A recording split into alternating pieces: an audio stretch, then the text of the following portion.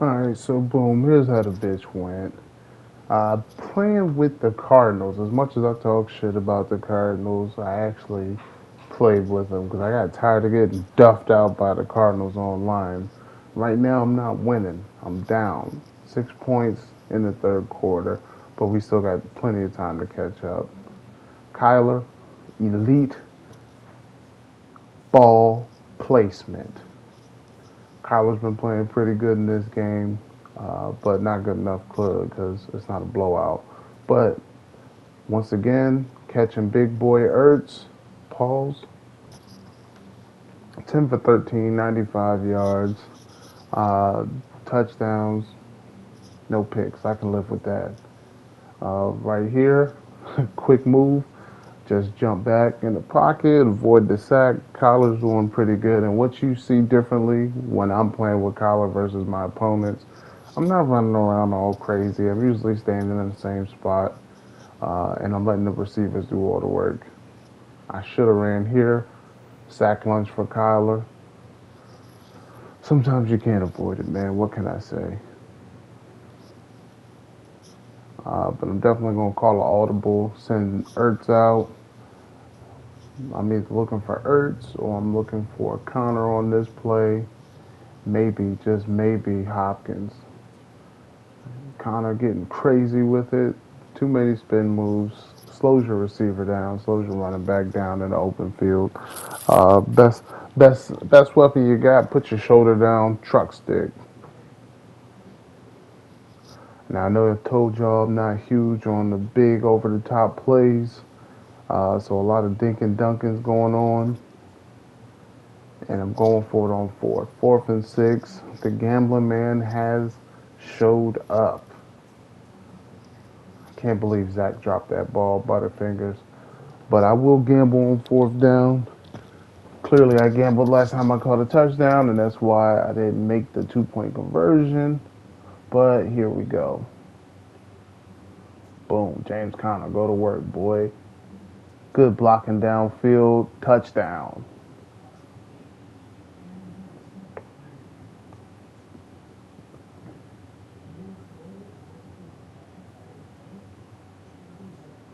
That wasn't the best play, but, you know, whatever. Caught him slipping. Had blocking downfield. Made something happen. I'm probably going to go to Conner on this play, too, and just run to the side and. Yep, Oh, shit. Tried to run it. Doesn't work. Smack City at the one. So now it's tied 19-19. Minute left in the third quarter.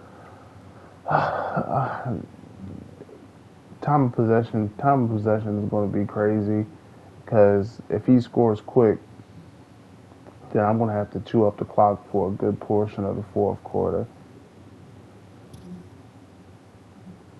And if it takes him forever to score, then that's just more pressure on me to have to get down. So hopefully my defense shows up.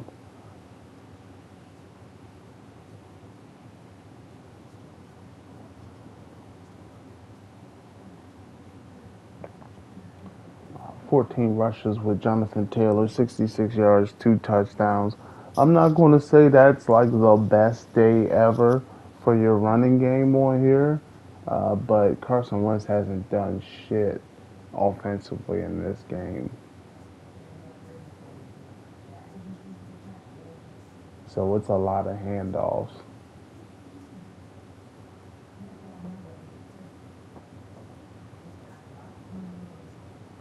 But just be patient and don't overcommit to stopping the run because Carson Wentz is still a decently respectable quarterback.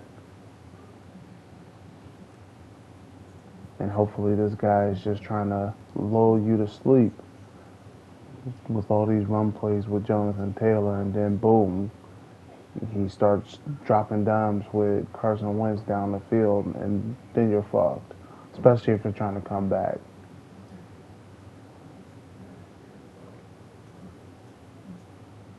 God damn, what is this?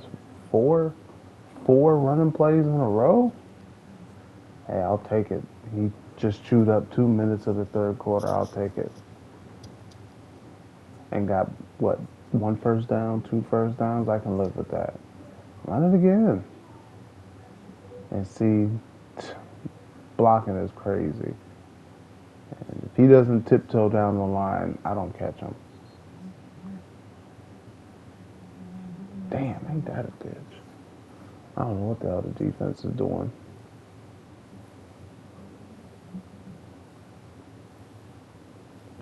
All right, going into the fourth quarter. He's in the he's in the red zone. He's in scoring position. He better take advantage. Uh, Jonathan Taylor doesn't have a, a, fumbling problem, so at least you know he has ball security. But if he wears them out on this drive, just run play after run play after run play, hopefully one of my guys shows up. But the team is losing momentum and that means it's going to swing the other way, and we don't want that. So somebody's got to make a big play. Somebody's got to put a big hit. Damn, two trucks, two trucks from Taylor.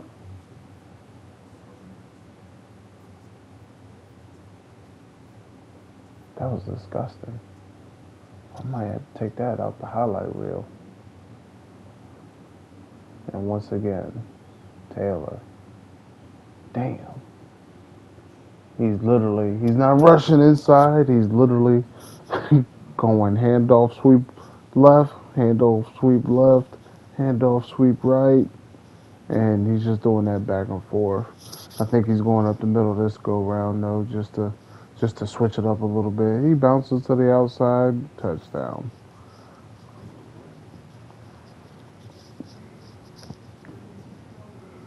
Three and a half minutes left in the fourth he just scored. The the chances of me getting a takeaway after I score are very low because all he's doing is running. But if I chew up enough clock and score with a two point conversion, putting him in a position to where he has to score. Oh shit, he's going for two. Oh shit. Hopefully we can stop him. Hell no. Ooh, goal line stop. I like that. I like that. Strong tackle.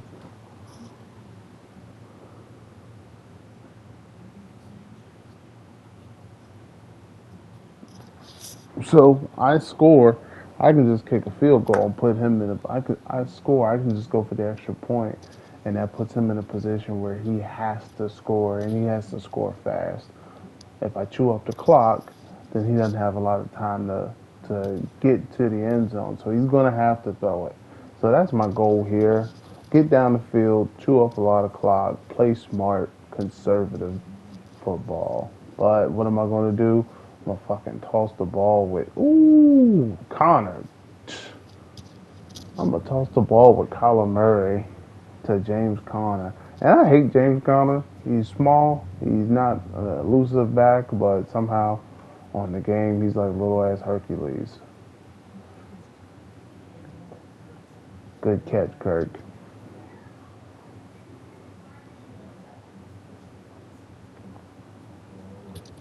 But here we are. Clock's running two and a half. And I'm running, usually running probably the same plays. And caught Conner out. Truck stick. You watch him. Truck stick. And look, I chucked the first guy. The second guy just ran out the way, and I'm running down the field like, damn. I scored with way too much time left on the clock. But that truck, that first truck was crazy. You just truck somebody and keep your feet moving and run o- run over them. So two minutes, 22 seconds left.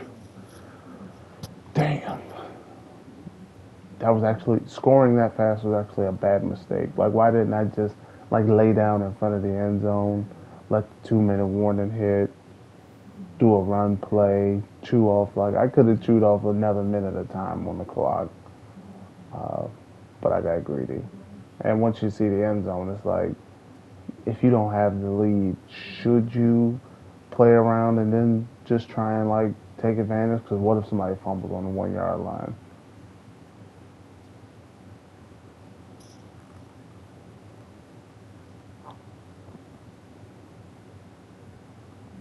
All right, so two minutes. I know what time it is. It's the Jonathan Taylor show. He's got plenty of time. He's got two timeouts and a two minute warning. So he's just going to run, run his low heart out. Stop them there. He probably changed the direction of the play. Nope, same play. No huddle. Shut it down. Shut it down. Now, third and seven. If he's smart, he'll pass. If he's smart, he'll pass. If he's a gambler, he'll run, try and make it fourth and three at worst. Oh, shit. Okay, well, forget it. Nobody's going to stop him. Nobody's going to stop him. At this point, let him have it.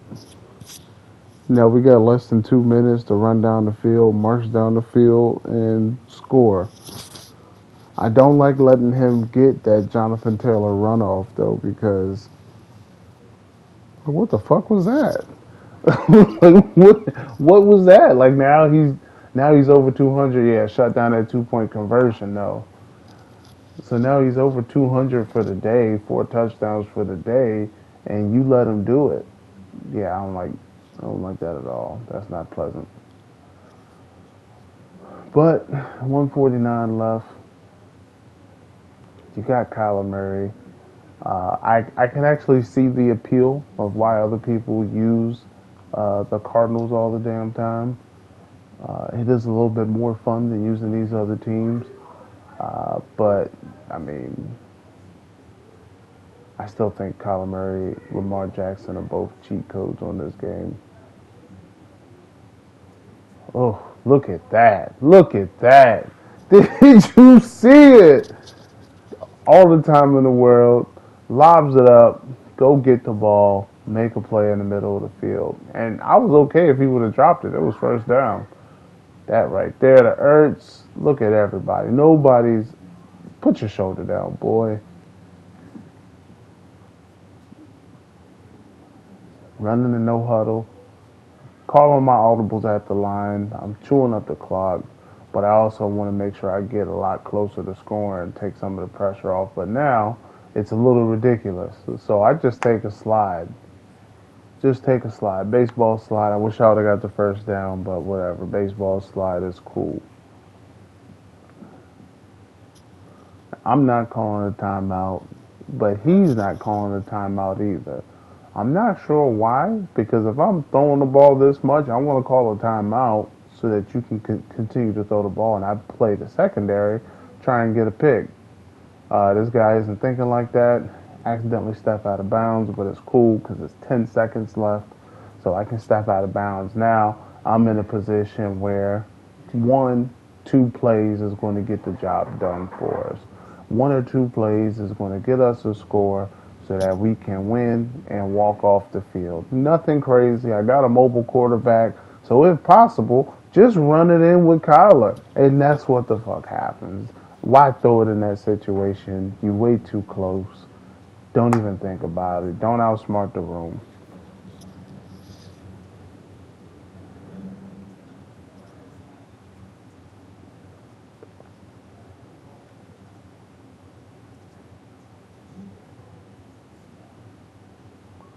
But I'm going for two because if something crazy happens, I at least want him to have to kick a field goal to tie it and take us to overtime versus winning the game. And same play, run it different side. Zen Master Kyler Murray, look at that. Sitting crisscross applesauce in the end zone. That's respectable.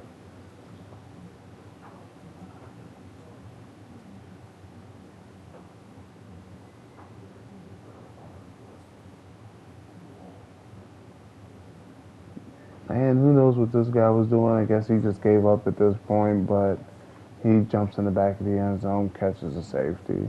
Uh, sometimes when you hit, you hit. Six seconds left. He knew he couldn't do much. I get it.